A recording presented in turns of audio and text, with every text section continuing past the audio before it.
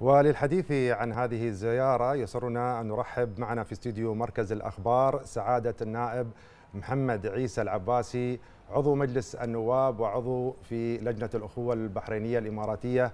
حياك الله معنا سعادة النايب يا هلا ومرحبا فيك. يعني شهدنا اليوم زيارة مهمة وزيارة أخوية بين بين صاحب السمو الشيخ محمد بن زايد والذي استقبله من خلال جلالة الملك حمد بن عيسى آل خليفة. كلمة تقولها في هذه الزيارة. اولا آه، الإمارات والبحرين بلد واحد يعني نعم. وحقيقة آه، مثل هذه الزيارات آه، هي زيارات يعني معتادة بين البلدين لكن تكمن أهمية هذه الزيارة في ظل الظروف الاستثنائية اللي تعيشها نعم. المنطقة نعم. أزمة كورونا والقضايا الإقليمية أيضا اللي موجودة اليوم على الساحة العالمية أعتقد أن البحرين والإمارات تخطت مرحلة التعاون ووصلت إلى مرحلة أعلى من التعاون اليوم. آه، المصير مشترك القضايا مشتركة بين البلدين الرؤية تقريبا متحدة في كثير من القضايا اللي موجودة آه، على مستوى الحكومي وأيضا على مستوى مجلس النواب. كان لنا يمكن قبل فترة في مجلس النواب زيارة آه، قامت فيه معالي رئيسة مجلس النواب أيضا إلى المجلس الاتحادي هناك في دولة الإمارات وتم تنسيق كافة القضايا المتعلقة بين المجلسين. فإذا تكلمنا على التعاون بين البلدين فنحن نتكلم عن تنسيق في كافة الأمور وقضايا متحدة تقريبا في كافة الأمور الدولية والإقليمية. طبعا كما ذكرت علاقات تاريخية وثيقة تربط مملكة البحرين ودولة الإمارات العربية المتحدة كيف تصف مدى عمق هذه العلاقات الأخوية برأيك؟ لا يمكن نحن نوجزها يمكن في هذا اللقاء. إحنا نتكلم عن علاقات امتدت أكثر من 200 سنة. آه، أسسها الآباء والأجداد واليوم قيادة البلدين حقيقة اللي آه، تعكس آه، كل هذا التعاون الكبير. أيضا على مستوى الشعوب أعتقد شعب البحرين والإمارات واحد. متحد في أفكاره في آرائه في القضايا المحلية والإقليمية والدولية.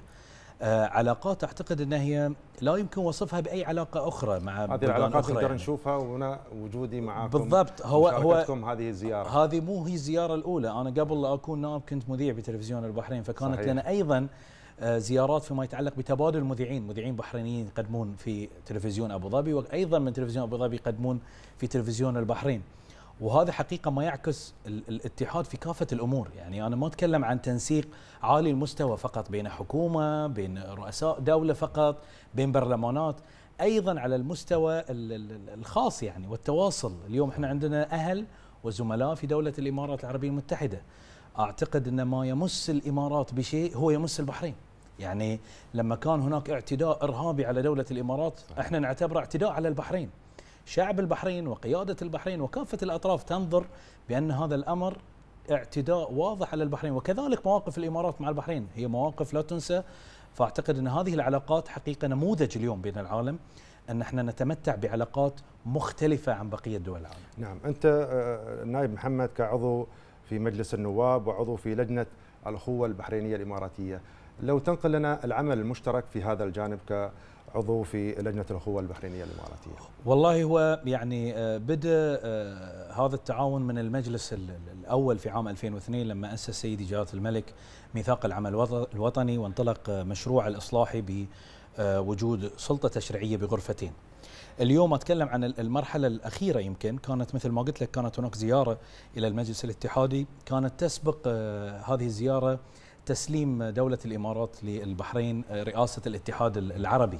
البرلماني آه، من آه، رئيس المجلس الاتحاد الإماراتي إلى رئيس مجلس النواب البحرين. فكان هذا التنسيق في هذا الجانب وكانت أيضا قبل اجتماع الاتحاد البرلماني الدولي. وكانت هناك قضايا مطروحة للتصويت عليها في هذا الاجتماع. كان في إندونيسيا في منطقة بالي.